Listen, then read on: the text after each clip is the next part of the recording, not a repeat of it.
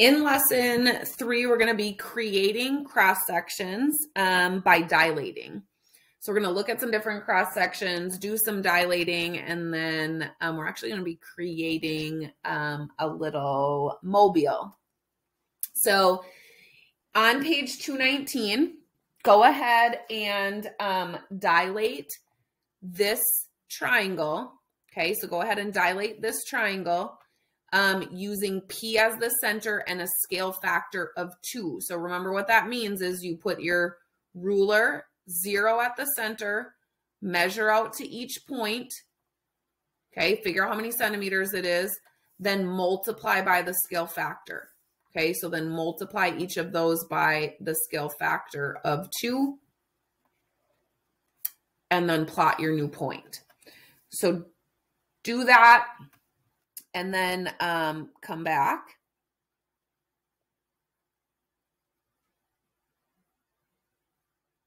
So this point D was 5.2 centimeters from P. So 5.2 times 2 gives me 10.4 centimeters. So that's where I'm going to put point D prime. So I'm going to measure this out here, get point D prime rotate, do the same thing with C.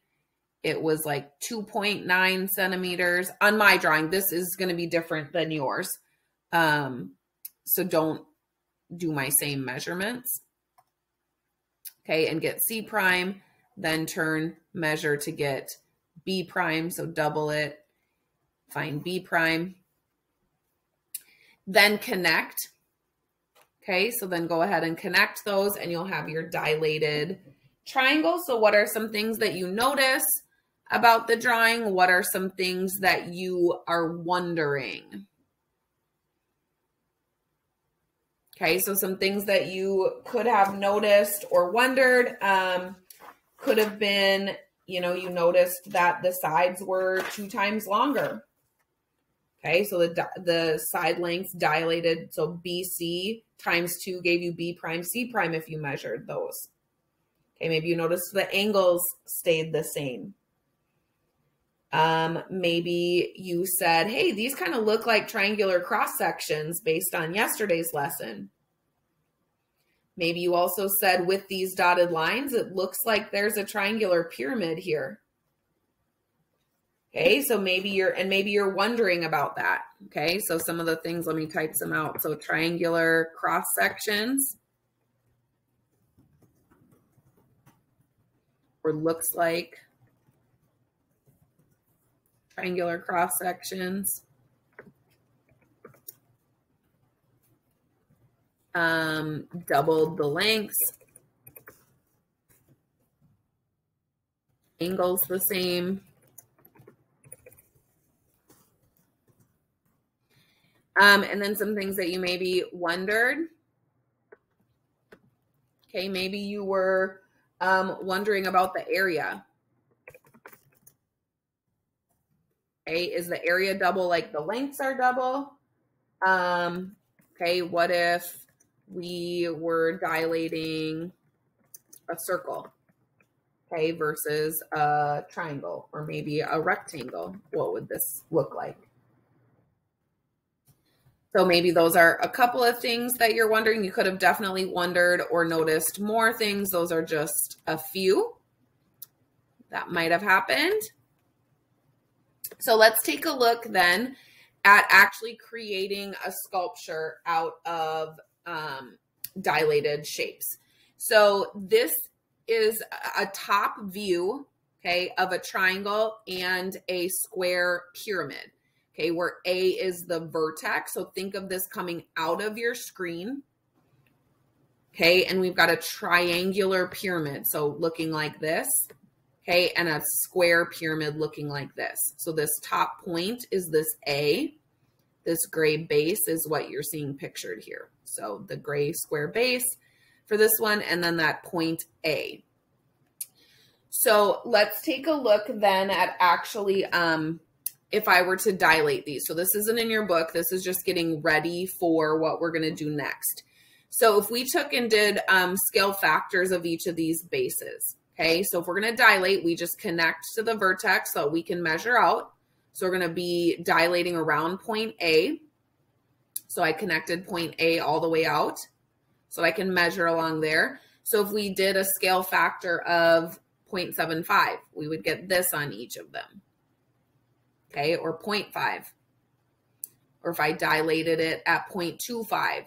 So those are some examples of the dilations of these two shapes and what we're going to be getting into. So we're going to be creating a mobile, okay, um, or a structure. It's going to look similar to this. So you'll need to um, find a couple people to work with if you're in class. Um, and so the supplies that you need are these. You'll need a calculator, four sheets of paper, one long piece of string, um, and a compass. So grab those things and then come back to the video. All right, so when we're creating this, so step one, okay, so just follow along on these step-by-step -step instructions. So locate and mark the center of your sheet of paper by drawing diagonal. So on all four sheets of paper, and you should split this up. Okay, so not every person needs to do four unless you're working by yourself, okay, at home. Otherwise, um, you should be working with two to three people. So, so find the center of each of the four pieces of paper. Step two, okay, so this is on page two nine. Um, this is on page two twenty. Each group member needs to pick one of these scales. Okay, one to two, depending on um, how many people you're working with. So you're going to choose one of these scales for each sheet of paper. Use your scale factor to dilate that piece of paper using the center you marked. Okay, so here's the piece of paper. So you're going to measure from the center to the corner, multiply by your scale factor, then measure the new distance. Okay, then repeat that to each corner and then connect. Remember, it will look similar to what we did here. Okay, so if you have a 0.75 scale factor, it should look something like this on your paper. Okay, so get through that um, for each of the pieces of paper. Okay, so make sure all four pieces of paper get done with a different scale factor. Then you're going to complete your table. Okay, so you're going to measure the length of your scaled rectangle. Okay, so wherever, whatever your scaled rectangle is, measure the length and the width. Okay, so length and then width, and then calculate the area, which is length times width. Okay, so fill that in for whichever scale you did. So if you did the 0.5, fill that in. Then collect the data from the other people that you're working with to get your entire table filled in then come back to the video and check your measurements. Okay, so here are the measurements. Here's what it should be if you did them correctly. So make sure that if any of these are done incorrectly, that we get them fixed before we move on. Okay, so we need to make sure that we have these correct before we cut. Okay, so then cut each of your rectangles out. Remember, it's going to look like this. Okay, so you'll have four different rectangle sizes. So then cut them out. Then the next step is going to be to be actually creating this mobile or this um, structure here. So with your string, you're going to fold your string in half. So you've got this long string, you're going to fold it in half. Okay. And then with a marker, put a little mark on where that halfway point is. Okay. So put a little marker on where that halfway point is. Then with it folded in half, fold it in half again. Okay. So you've got this part marked. Now fold it in half and put a marker mark on those two points so that you've split your string into um, four equal parts.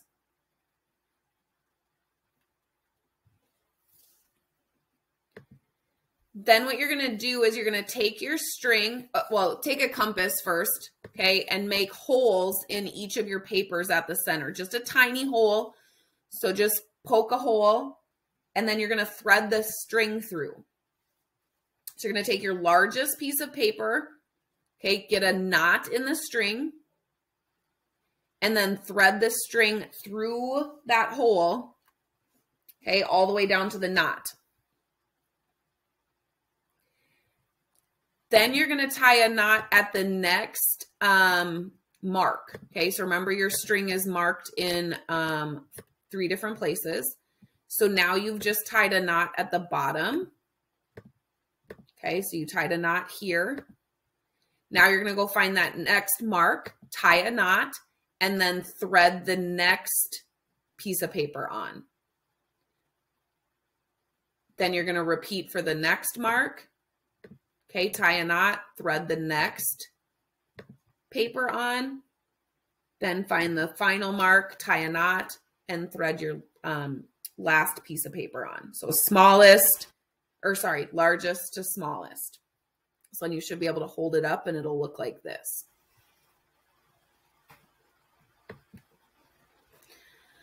All right, so then here's some discussion questions you can discuss um, with whoever you worked with. So you can pause the video, talk about it, then come back. All right, so if you've got the K value of one, you didn't really have to do anything. You just needed to measure the sides, right? Because the, the scale stayed the same. So you just measured the sides to calculate the area.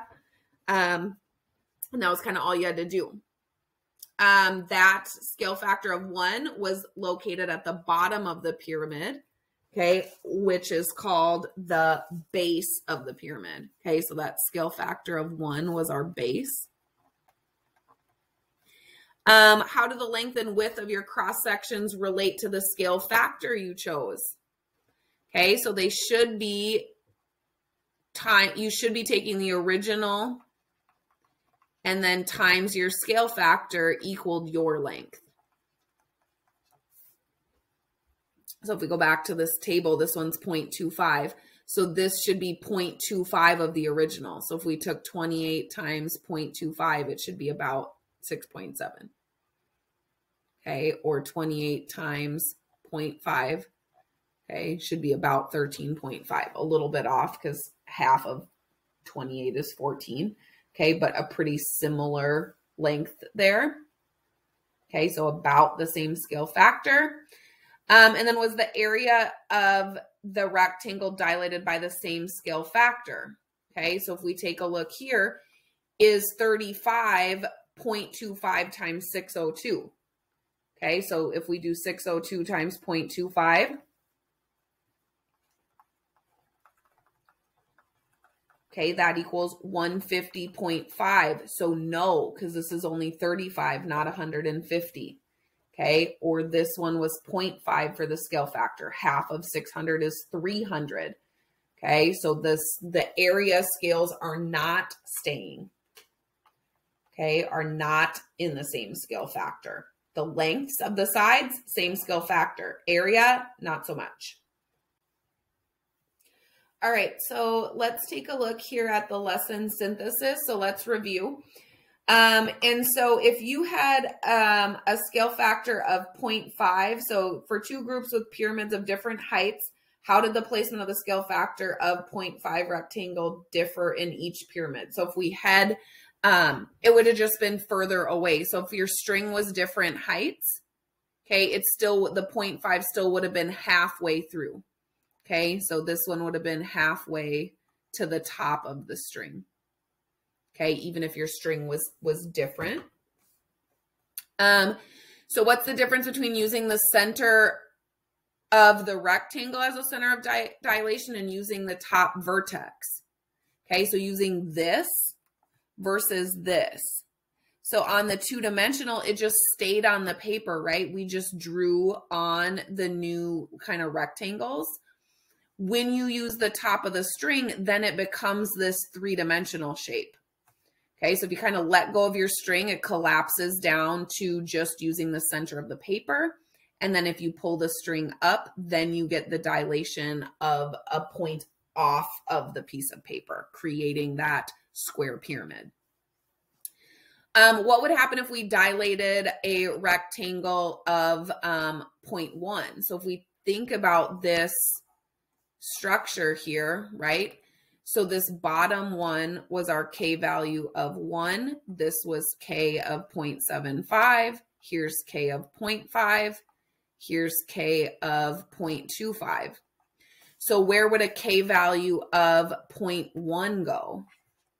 So 0.1 is getting smaller and smaller. So that one would be way up here. Okay, just a very small little parallelogram up here at K equals 0.1, getting closer and closer to that apex or a point of zero. So 0.9, where would 0.9 be? So 0.9 would be in here. Okay, smaller than the base, but bigger than the 0.75. And then all the way up at the point here, so all the way up at this apex or this dilation point, that would be k equals zero. Okay, so our so our range of scales, so the scale can go from zero to one. Okay, so zero has to be less than or equal to the scale factor, and the scale factor has to be less than or equal to one. So it could be anywhere between zero and one. So then let's take a look at our summary. So we see um, if we take these triangles laying flat um, on your desk and then we pull a point directly above, then we can kind of create this pyramid shape.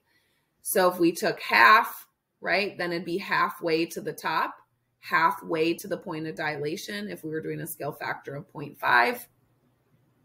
Okay, and we can add in some other ones and they just continue to look more and more like a pyramid, filling that in. So this one's a triangle versus the one you were working on was a rectangle. Scale factor of one being the base all the way up to that apex with a K value of zero. So just continuing to get smaller and smaller until it's just a dot or a point.